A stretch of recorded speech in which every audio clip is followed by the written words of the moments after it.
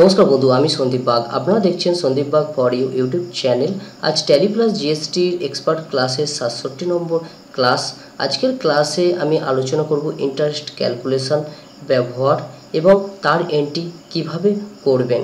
ধরুন, কোনো জিনিস আপনি কিনছেন কোনো সাপ্লায়ার কাছ থেকে।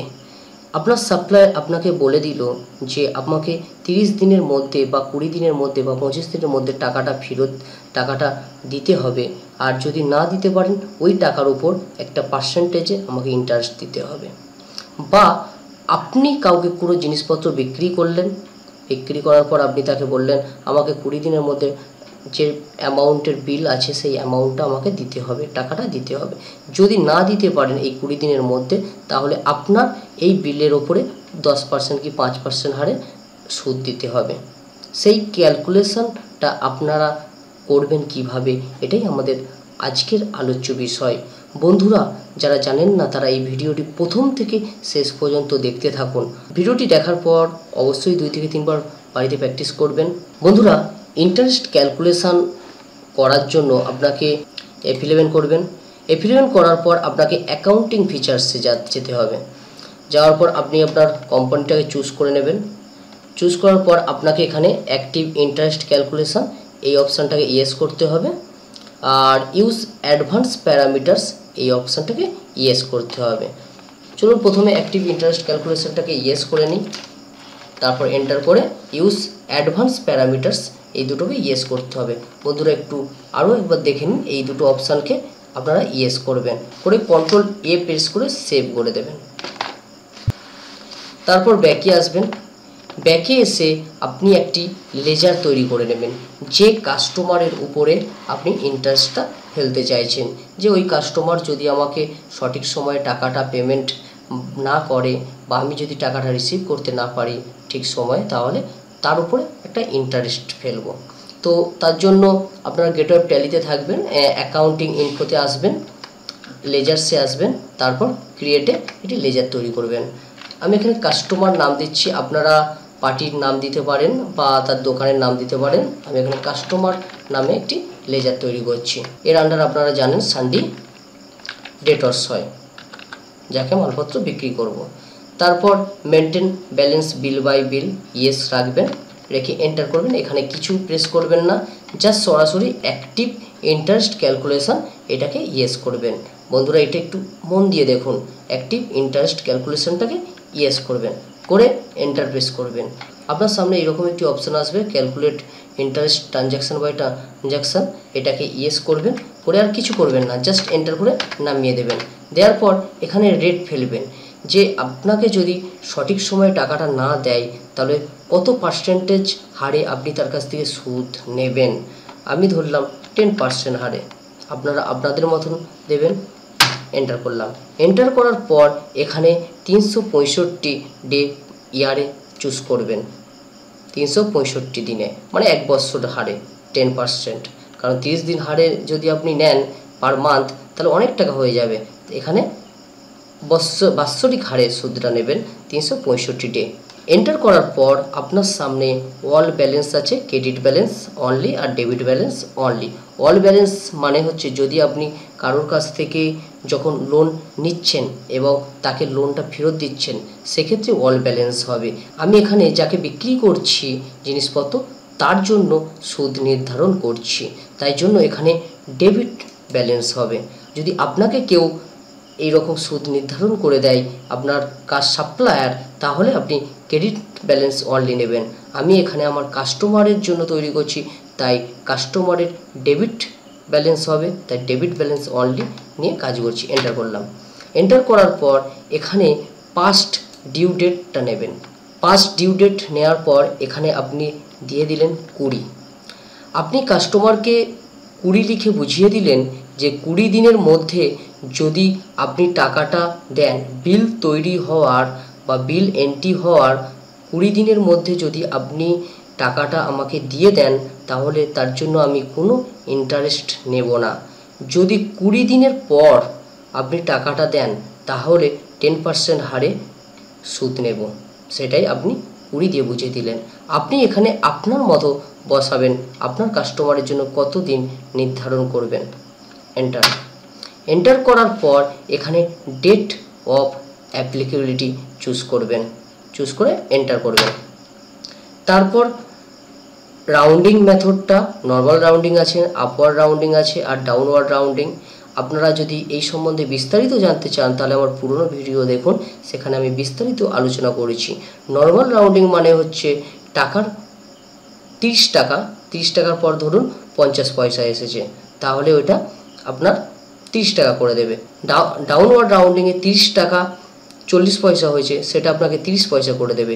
আর আপওয়ার্ড রাউন্ডিংয়ে তিরিশ টাকা ষাট পয়সা হয়েছে, সেটাকে আপনাকে করে দেবে একত্রিশ টাকা। তার তার ফলে এখানে নর্মাল রাউন্ডিং চুজ করবেন।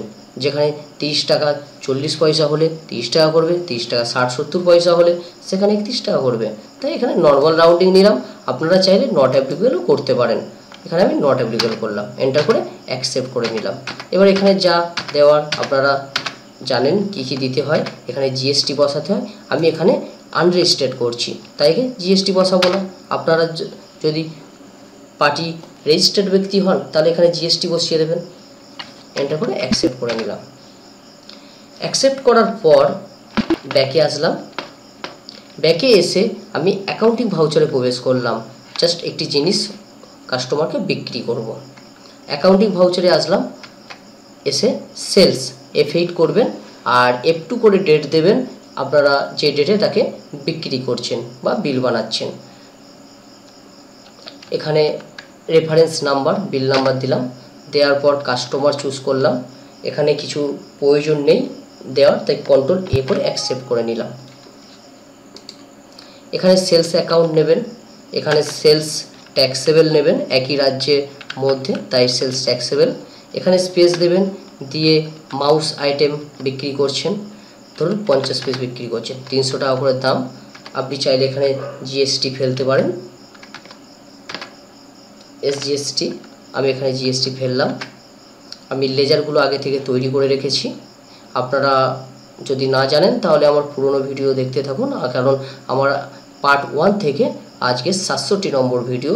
আশা করছি পার্ট ওয়ান থেকে সাতষট্টি নম্বর ভিডিও আপনারা এক্সপার্ট এক্সপার্টের পথে এগিয়ে আসছেন ট্যালি প্লাস জিএসটির এন্টার করে অ্যাকসেপ্ট করে নেব। দেখুন, জিনিসটা আমি কবে বিক্রি করছি? পয়লা এপ্রিল। এবং একে আমি ডেট ডিউ ডেট কবে দিয়েছি? কুড়ি দিন। এন্টার করলাম। এন্টার করার পর ধরুন, এই কাস্টমার আমাকে টাকা দিয়েবে তার জন্য এসেছে তিরিশ দিন পরে। মানে ধরুন পয়লা মেতে এসেছে আমার কাছে। তার জন্য কত টাকা সুদ নেব আমি? বা এই কাস্টমারের কত টাকা সুদ হয়েছে সেটা কীভাবে ক্যালকুলেশন করব? চলুন দেখে দিই। পয়লা এপ্রিলে দিয়েছি। কল্পনা করুন এ পয়লা মেতে আপনাকে টাকাটা দিতে এসেছে। ব্যাক করলাম। সুদ ক্যালকুলেশনের জন্য আপনারা সুদ ক্যালকুলেশন করার জন্য আপনারা গেটওয়ে ট্যালিতে থাকবেন, তারপর আসবেন ডিসপ্লে, ডি প্রেস করবেন, এন্টার করবেন। করার পর এখানে স্টেটমেন্টস অফ অ্যাকাউন্টসে আসবেন, তারপর আপনারা ইন্টারেস্ট ক্যালকুলেশন আসবেন। ইন্টারেস্ট রিসিভেবল যেখানে লেখা আছে, আপনি যে ডেটর্সের কায়দে টাকাগুলো পাবেন, ধরুন, কল্পনা করুন যে আপনার দশটা ডেটর্স আছে বা দশটা কাস্টমার আছে, যাদেরকে এইভাবে আপনি ইন্টারেস্ট এর আওতায় রেখেছেন। তাহলে আপনি এর ভিতরে প্রবেশ করে সবার অ্যামাউন্টটা দেখতে পারবেন, কার কত ইন্টারেস্ট আছে এফ টু করে ডিউ ডেট দিয়ে। আর যদি আপনার, আপনি কাউকে বা আপনাকে কেউ এই রকম ইন্টারেস্টের আওতায় রেখেছে, তো সেটা হচ্ছে ইন্টারেস্ট পেবেলে দেখতে পাবেন। যদি আপনার সাপ্লাই আর আপনাকে এই ইন্টারেস্ট আওতায় রাখে, তাহলে আপনি ইন্টারেস্ট পেবেলে দেখতে পাবেন। আমি এখানে একটি কাস্টমার জন্য তৈরি করেছি। তাই এখানে লেজারে গিয়ে দেখব।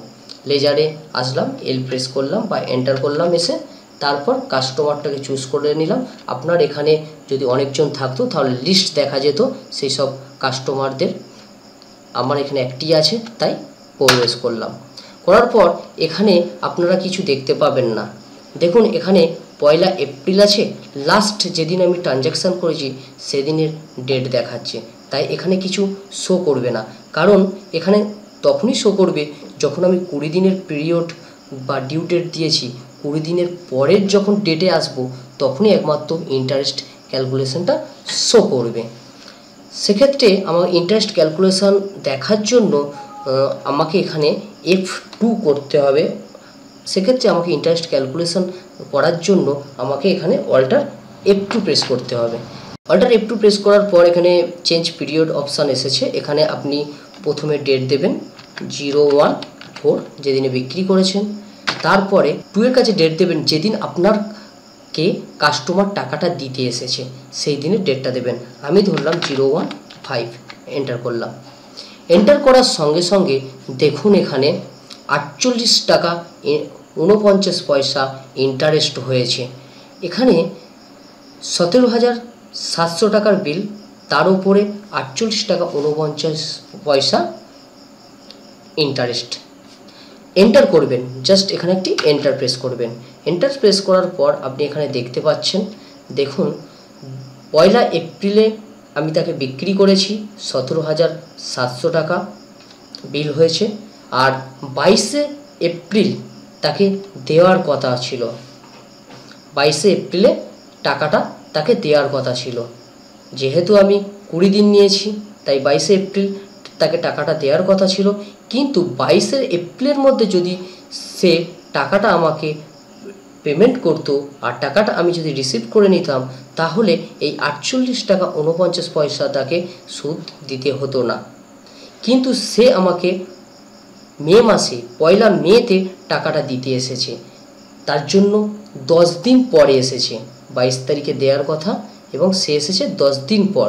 দেখুন টেন ডেজ তাই টেন পার্সেন্ট হারে সুদ, আটচল্লিশ টাকা উনপঞ্চাশ পয়সা ডেবিট তাহলে আমাকে এই বিলের সাথে আমাকে অতিরিক্ত আটচল্লিশ টাকা উনপঞ্চাশ পয়সাটা নিতে হবে।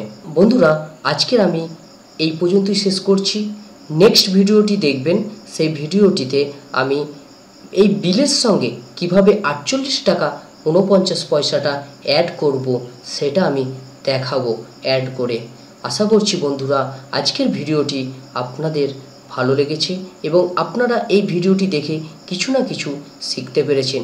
যদি বন্ধুরা এই ভিডিওটি দেখে কিছু শিখে থাকেন, তাহলে আপনারা আপনাদের বন্ধুদের সাথে ভিডিওটি শেয়ার করুন, যাতে তারাও এই ভিডিওটি দেখে ট্যালি প্লাস জিএসটি এক্সপার্ট হতে পারে এবং বিভিন্ন জায়গায় কাজের সংস্থান করতে পারে। আর বন্ধুদের যদি কোথাও এই ভিডিওটি দেখে অসুবিধা হয়, তাহলে আমার হোয়াটসঅ্যাপ নম্বরের সঙ্গে যোগাযোগ করবেন।